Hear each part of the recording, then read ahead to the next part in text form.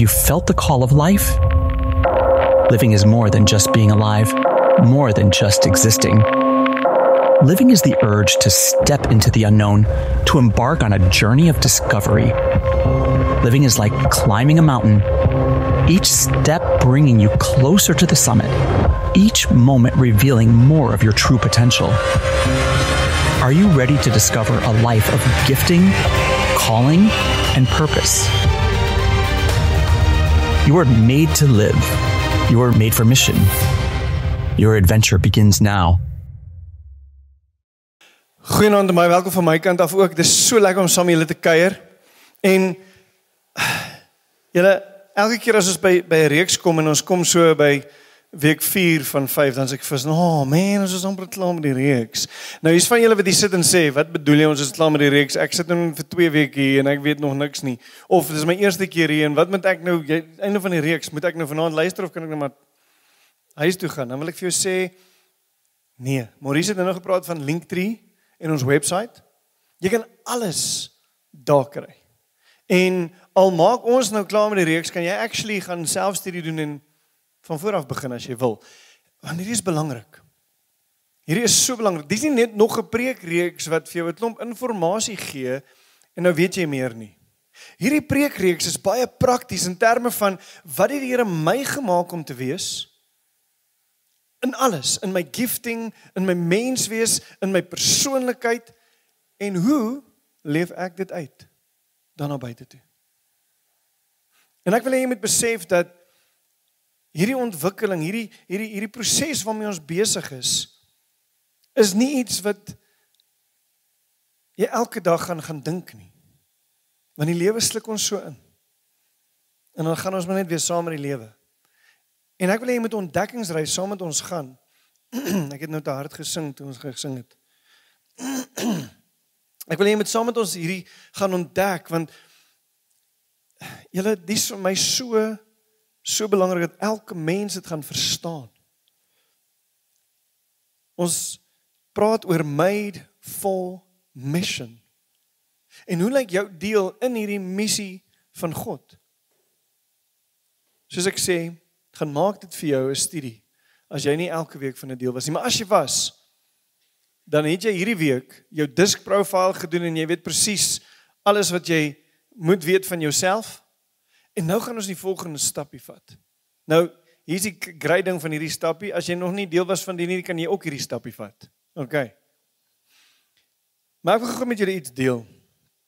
Ek het 'n baie groot bekommernis in my hart.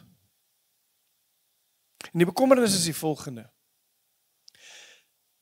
Mense weet nie wat hulle gawes is nie. As ek nou gou vir jou moet vra en ek wil nie jy met jou hand opsteek of exposed voel vanaand nie. Ek wil hê jy moet eerlik vir jouself antwoord. As ek vandag vir jou vra wat is jou gawe of gawes? Nie jou talente nie. Jou gawes. Weet jy wat dit is? Kry ek water? Prys die Here. Dankie. Dan o, jy sien. Maar weet jy wat jou gawe is? En is dit so maklik en eenvoudig om te ontdek?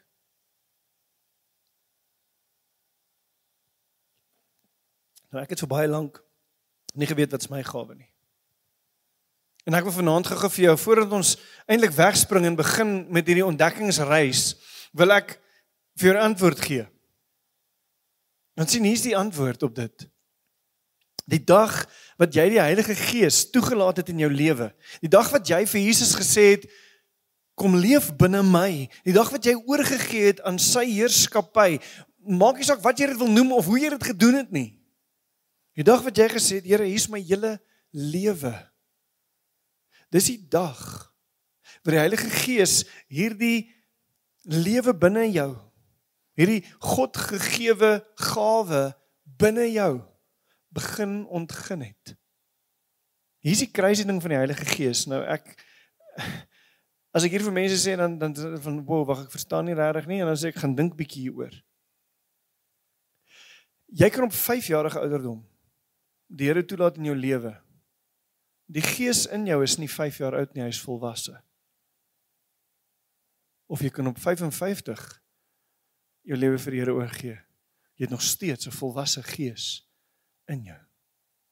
Maar die Heilige Gees is nie 'n kind nie. Hy het nie nodig om te groei nie. Hy is deel van die drie eenheid van God. Dis wat binne jou leef. Nou met die gedagte van dit wil ek jy moet besef dat ons sien baie goed in terme van ons persoonlikheid. As ek iemand vra wat is jou wat is jou persoonlikheid? Die eerste ding wat mense sê ek is 'n introvert of ek sê ekstrovert. OK?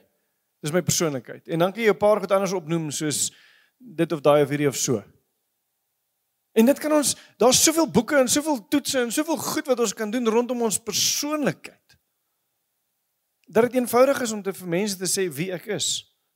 Die probleem wat ons ook doen is ons heg ons persoonlikheid aan dit wat ons doen. Okay, so wie's jy? O nee, ek's maar 'n rekenmeester of 'n musikant of 'n dis nie wie jy is nie. Wanneer hy gekom en hy het vir jou deur middel van die Heilige Gees iets in jou gesit. Hier is my die grootste ding. Toe hy jou gemaak het. Toe hy in die begin gegaan het en gesê het ek wil jou aan mekaar weef het hy 'n plek gekreëer. Hy het hy het 'n stuk van jou gemaak om die Heilige Gees te dra en daai gawe wat hy in jou wil sit of gesit het wil laat uitkom, wil laat leef. So eintlik wat ek sê is sonder dat jy verstaan wat die werking van die Heilige Gees in jou is en jou gawe is, is daar 'n deel van jou wat missing is. Jy lewe nie 'n volledige lewe nie. Maar dit is nie weg nie.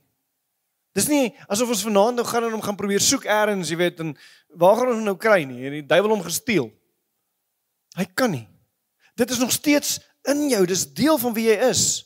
Ons moet daai ontdekking net gaan maak. Ek wil hê jy moet besef dat die Heilige Gees is nie hierdie aftermarket upgrade wat ek en jy gekry het toe Jesus gekom het nie. Dis nie 'n add-on nie. Dit was van die begin af die plan. Dit was die oorspronklike design. En die ontdekking van dit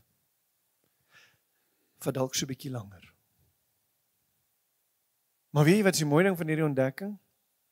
En ek sien dit oor en oor en oor in mense se lewens. As ek saam met hulle hierdie pad stap van hierdie ontdekking van wat is my gawes, dan kom hulle by 'n plek waar hulle sê hulle maar ek doen hierdie al lankal. Dan sê ek van ja. Die Heilige Gees lewe lankal in jou. Jy kon dit net nog nie identifiseer nie. En as jy dit nie kan identifiseer nie, dan kan jy er nie duplicate nie. Andy Stanley is 'n kerkleier in Amerika en hy het op 'n stadium die vinnigste groeiende kerk gehad in Amerika en op 'n stadium toe kom vra hulle vir hom luister jy maar wat is jou sukses? Hoe kry jy dit reg om so vinnig te groei en wat doen jy? En hy sê ek weet nie. Skryf net reg. Weet. En iemand sê toe vir hom Okay, wat gaan jy doen as dit breek? Hoe gaan jy dit oorbou as dit nie meer werk nie? Dis 'n good question. Kan ek vir julle gou net sê, die vyand hou nie daarvan dat jy jou gawes gebruik nie. En as jy nie dit kan identifiseer nie en weet wat dit is nie en ek praat nou uit persoonlike ervaring uit, dan kan hy dit by jou wegvat in terme van jy gebruik dit nie meer nie want jy voel nie jy hoef of jy kan nie. Die vyand wil dit doen. En ek en jy moet dit keer. Jy sien die ding wat die Heilige Gees in my en jou kom doen is bo natuurlik. Wat ek daarmee bedoel is jy kan nie 'n boek gaan leer, gaan vat en lees en leer wat hierdie ding is en dan dit doen nie. Okay, dit is so goed wie jy gaan iets kan doen, maar hierdie gifting wat die Here vir jou gee, wat die Heilige Gees vir jou gee, dit is dis beter as die matrix. Okay, jy hoef nie eens in te plak nie, hy leef in jou. En jy weet dadelik wat dit is. Jy doen dit sonder effort, sonder dat jy dan dink, doen jy dit. Maar die Heilige Gees is die een wat jou bemagtig. Ek wil hê jy moet dit mooi hoor vanaand. Dis nie my gifting wat ek nou mee beter word nie. Okay, dis nie soos ek kan sing en dan word ek beter met sing nie. Party mense kry die gifting van sing en hulle kan net ongelooflik sing en ongelooflike musikante wees sonder dat hulle hoef te probeer. Ek het 'n vriendin wat sy kan enige instrument optel en binne 'n paar minute speel sy hom. Nou ek hou nie baie van haar nie, maar ek is baie lief vir haar. Want ek moes jare en jare en jare oefen. Maar sy het 'n gifting wat ek nie het nie. En sy 'n instrument optel en sy speel, dan kan jy dit hoor. Dis net anders. Dis net anders. Maar hier is die mooi ding wat die Heilige Gees kom doen. En, en, en eintlik wil ek myself nou kon eh, weet om aan contradict myself. As ek sê die Heilige Gees kom doen 'n bo-natuurlike ding in jou. Maar hier's wat die Heilige Gees doen. Hy maak die bo-natuurlike die natuurlikste ding in jou lewe. Want jy doen dit effortlessly. Jy doen dit sonder om te dink daaraan. Ek wil hê jy moet gou saam met my hierdie volgende lees. 1 Petrus 4 vers 10. En hy sê na mate elkeen 'n genadegawe ontvang het, moet julle mekaar daarmee dien soos goeie dienaars van die veelvuldige genade van God. Wat sê hy? Wat sê Paulus hierso? Of Petrus hierso? Hy sê ek wil hê jy moet gou-gou besef. Jou genadegawe, jou gifting is vir jou gegee nie sodat jy geestelike toertjies kan doen en vir die mense kan wys hoe awesome is jy nou nie. Maar sodat jy ander mense eerstens in die kerk en dan in hierdie wêreld kan gaan dien. Dis waarvoor hy daar is. As jy glo dat Jesus alreeds alles gedoen het as hy as jy glo in die afgehandelde werk van Christus aan die kruis en sy opstanding as jy glo dat hy kom sê ek maak alles nuut en hier's 'n nuwe wêreld en 'n nuwe lewe wat besig is om te gebeur en hy is die koning van hierdie koninkryk dan moet jy by 'n plek kom waar jy besef dat sy koninkryk werk anders sy koninkryk het 'n nuwe skepsel wat jy is wat deel van dit het die Heilige Gees werking in jou. Wat wil hy doen? Hy wil hê jy moet op hierdie aarde die volheid van mens wees vir ander mense wys. En as ek en jy begin om hierdie volheid wat Christus in ons gesit het deur sy gawes in ons te sit, gaan lewe daar buite in die wêreld. Dan gaan hulle iets sien wat hulle gaan sê, wat is daai? Wat is daai? En daarmee bedoel ek nie jy stap met jou Bybel in die kantoor en sê ek gaan nou almal vertel van Jesus nie. daarmee bedoel ek as daar 'n probleem is by die werk en jy het jou gawe gegee van probleemoplossing. En jy los die probleem op wat bo natuurlik gebeur. Maar vir jou was dit soos van uh. Of jy kom in 'n situasie ek in hierdie week met 'n man gesels wat wat hy sê mense sê vir my ek's objektief. So hulle nooi my in gesprekke in en sê vir my, "Wat dink jy?" En ek sê dinge en as hulle van, "Ja, dit maak meer sin." Kom ons doen dit. Ek sê vir hom nou, "Wat het jy geswat om dit te doen?" Hy sê, "Nee, ek weet dit net." Ek weet nie. Sê ek, "Oké, maar dis dalk jou gawe, né?" Ek wil jy moet besef dat dit wat die Here wil kom doen in jou het dalk die volgende uitwerking. Het jy al het, het, het iemand al vir jou die volgende vraag gevra? Hoorie? Hoe doen jy dit? Of hoe het jy daai reg gekry? En dan jou antwoord is hè? Ek het dit net gedoen. I just did it. Ek het nie daaroor gedink nie, ek het nie daaroor getop nie, ek het nie eers daaroor gebid nie, dit het net gebeur. Hm. Dalk is dit dat dit in lyn is met die gawe wat die Here vir jou gegee het. Want sien, hm, gawe is partykeer vir ons hierdie ding as ons dink aan die supernatural dan dan dan dan verwag ons dat hierdie gawe iets moet wees soos die volgende. OK? Ek ek het nie gawe nie want ek kan nie na iemand toe stap en vir hulle bid en hulle word gesond nie. Of ek het nie 'n gawe nie want want as ek iemand hoor bid in tale dan kan ek nie eintlik verstaan wat hulle sê nie. So ek het nie 'n gawe nie. Of ek het nie 'n gawe nie want want weet jy wat duiwels uitdryf klink vir my net 'n bietjie gevaarlik. En ek het nie 'n gawe nie, want ek het nie ewe skielik begin engele sien rondsweef en en weet ek weet nie hierdie geestelike gawe ding is bietjie weird. Ek wil hê jy moet besef dat die geestelike gawes is nie 'n magic wand nie. Dis 'n gawe. Dis 'n gift. Dis 'n geskenk vir jou gegee vir watse rede? Petrus het gesê vir my en vir jou om ander mense daarmee te dien. If it does not edify the body, don't do it. Don't do it. Paulus sê baie keer vir mense, luister hier, profeteer liewer. Dan dink jy, hè? Dan sê sien dan dan 'n bit wie verstaan dit? Nou ek sê nie daarmee moenie dit doen nie. Maar Paulus sê, "Hey, do something that edifies the body. Gebruik jou gifting om mekaar te dien."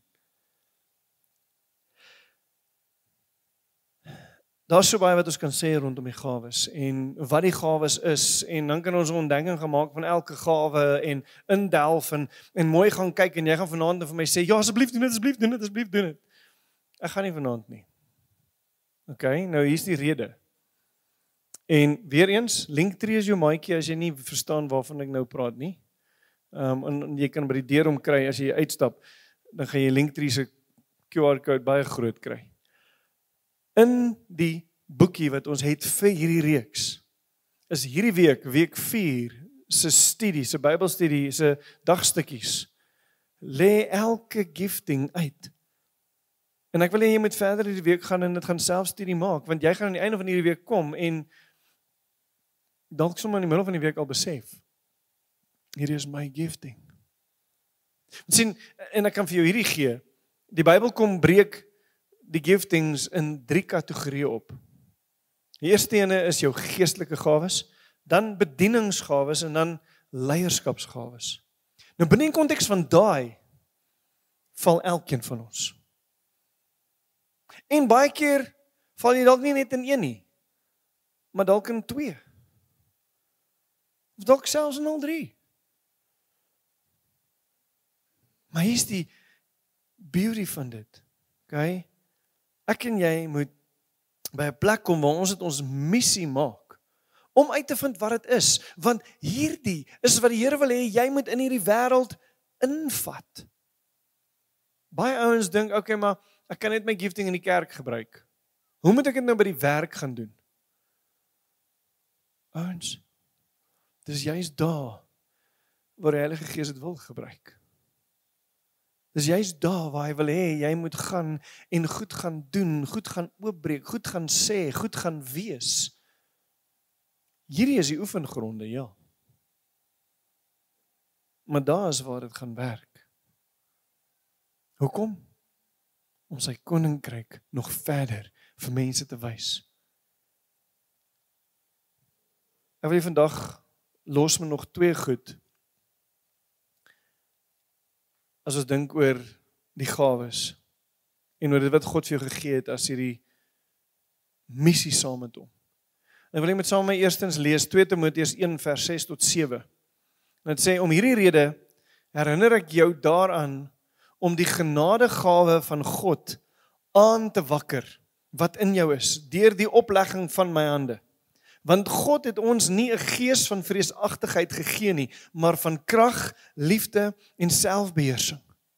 Nou, ons ken daai tweede gedeelte baie goed, okay? God did not give, give you a spirit of fear.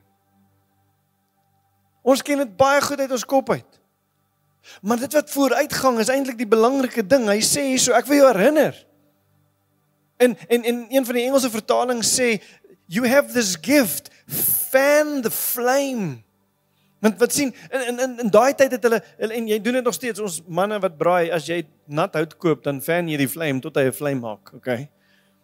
Nou nou vir my die groot ding is as jy by 'n plek kom waar jy die die Heilige Gees gawes in jou het en jy het dit ontdek, dan dan as jy dit het vanaand en jy weet wat dit is, maybe you need to fan the flame om by 'n plek te kom waar jy dit beter en beter verstaan. Maar as jy by 'n plek is waar jy dit nog nie ontdek het nie, dan sê hy I laid hands on you and you started using them. En dis wat ons vanaand wil wil besef en beleef want want sien in hierdie oomblik is Timoteus se lewe in Paulus se hande oopgevlek vir hom om te sê luister hier ek wil hê jy moet nie skaam wees bang wees worry nie use this gifting because God did not give you a spirit of fear but of power and of love and a sound mind net vir jou in die Engels was nie op die bord nie Ek wil hê jy moet besef.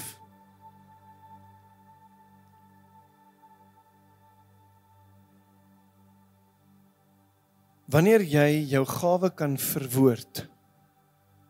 Wanneer jy kan sê hierdie is my geestelike gawe. Dan kan jy begin uitkyk in jou dag hoe om dit te gebruik.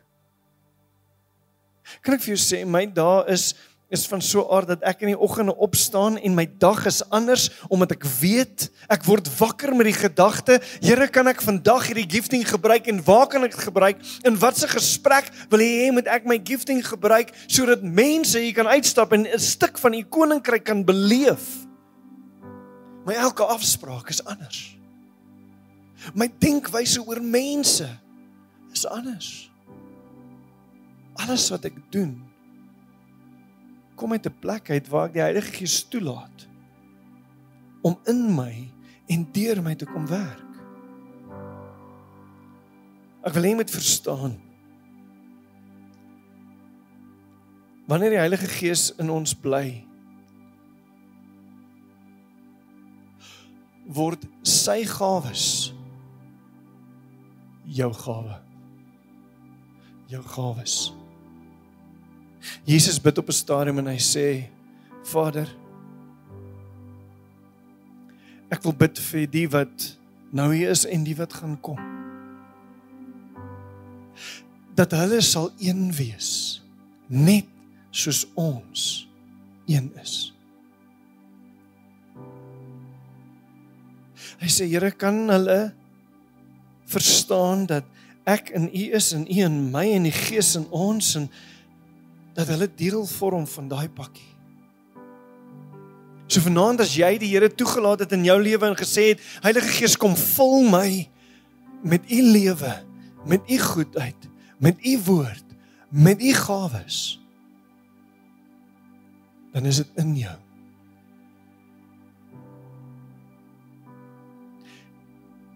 Hy kom nie as jy hom roep nie, want hy is daar.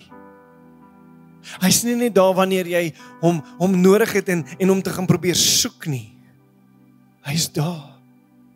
Paulus skryf op 'n stadium vir die mense in Korinte en hy sê wie verenig is met God is een in gees. Hy lewe in jou. Ons wag partykeer vir hierdie wonderwerk om te gebeur of hierdie wolk om te sak of of iets om te wees voordat die Heilige Gees nou kan begin werk. Kan ek vir jou sê, jy dra die Heilige Gees in 'n plek in. Jy hoef nie 20 minute te bid en musiek in die agtergrond te hê en en die ligging moet net perfek wees vir die Heilige Gees om te kom werk nie, want jy vat hom in plekke in.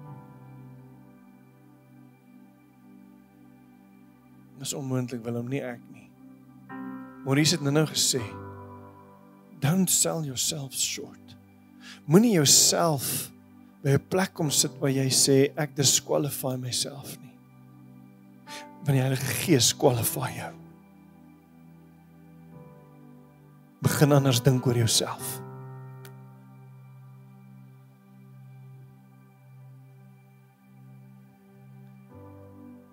Ek het nou gesê dat die Heilige Gees kom maak die bonatuurlike vir jou natuurlik. En ek wil hê ons moet besef dat hy het nodig dat jy jou gifting sal uitleef in hierdie wêreld. En ek wil vanaand daar verbid. Ek wil seker maak dat jy vanaand by 'n plek is waar jy begin ontdek wat jou geestelike gawe is. Dat jy begin om te soek na hierdie hierdie hierdie gifting wat die Here in jou gesit het. Jy gaan nie noodwendig 'n stem uit die hemel uit hoor wat vir jou gaan sê hierdie is dit of 'n kaartjie by die deur kry wat vir jou sê hey I know you give these on nie. Dit is 'n ontdekking wat jy saam met die Here moet maak want dit is eintlik al klaar in jou. As deel van hierdie proses waarmee ons besig is, gaan jy hierdie week ook 'n gift toets doen. Selfs hy kan jou dalk partykeer mislei. Maar kan ek vir jou sê wie weet wat is jou gifting? Die Heilige Gees in jou. Die Heilige Gees in jou. So ek wil vanaand vra. Ons almal sal staan. Net daar waar ons is, kom ons staan.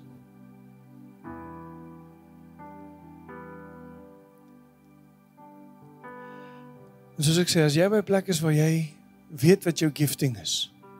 Maybe you need to fan the fan the flame. En as jy vanaand hier is en jy sê ek het nie 'n klou nie. Ek ek weet nie. Ek weet nie of die Here my 'n gift sal gee nie.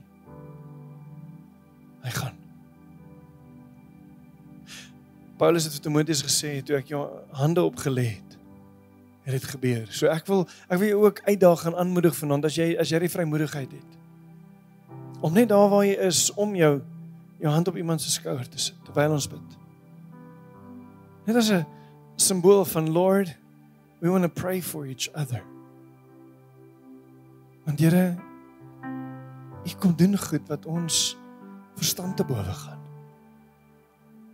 And you make it mine. Laat ons is kom ons sluit ons oë. Ons bid.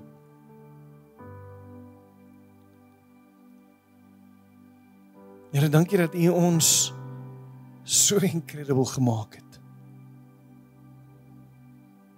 Dat U ons gemaak het om om die teenwoordigheid van God rond te dra in ons dat ons by plekke instap. En U teenwoordigheid is daar. Oral waar ons gaan, o Vader, is die Heilige Gees besig as deel van ons, as een in ons om dit te kom doen wat wat u in ons kom sit het effortlessly Vader. Lord, I want to pray that we want to that, that we will be able to do it more and more and more and more. Dat ons by 'n plek gaan kom waar ons dit kan identifiseer en gaan sê, this is my purpose and I run with this because this is amazing. Dit sit al my liggies aan, o Here. Ek wil ek wil by 'n plek kom waar ek net dit wil doen die res van my lewe. Ek was gemaak vir hierdie. Ek wil kom bid o Heilige Gees. Dan niemand vanaand hier sal uitstap met die gedagte of die vraag van kan ek die Heilige Gees gawes ontvang nie. Maar Vader dat ons 'n wete sal hê vanaand. En dat hierdie wete in ons sal plaas vanaand om te sê, weet jy wat? Ek is so lief vir jou. Ek wil so my liefde oor jou uitstort, my liefde aan jou bewys. Ek wil so my liefde vir jou gee dat jy sal besef dat my gawe, my gifting wat ek vir jou wil gee is is is baie anders as net 'n talent. Dit is iets wat die wêreld kort en die wêreld nodig het. They want to they need to see the fullness of my kingdom and the fullness of my creation. En dit leef in ons.